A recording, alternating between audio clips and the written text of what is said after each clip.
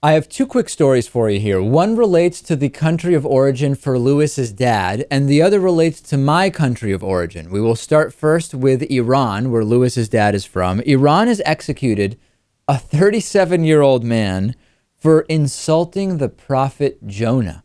This is being, uh, he was found guilty of heresy and insulting Prophet Jonah, according to human rights activist Mohsen Amir Aslani, was arrested nine years ago for his activities, which the authorities deemed heretical. He was engaged in psychotherapy, but also led sessions reading and reciting the Quran and providing his own interpretation of the Quran. He was hanged last week for making, quote, innovations in the religion and spreading corruption on earth. Iran's judiciary, which was responsible for the handling of the case, has denied that the execution was linked to his religious beliefs. They say that he had illicit sexual relationships with a number of people who were participating in his sessions.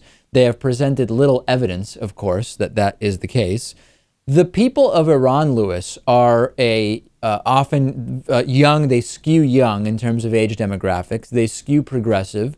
But the regime there is just absolutely brutal and theocratic. And I can understand why you were saying, Lewis, that your dad is not particularly interested in going back now.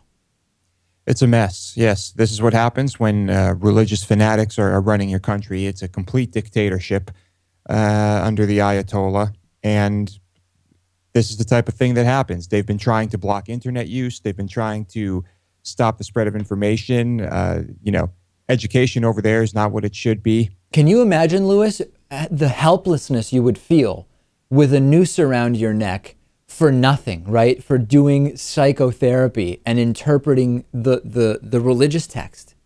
And I'm sure that there are people who want to speak out, uh, but who are afraid of, of falling victim to, to a, a noose.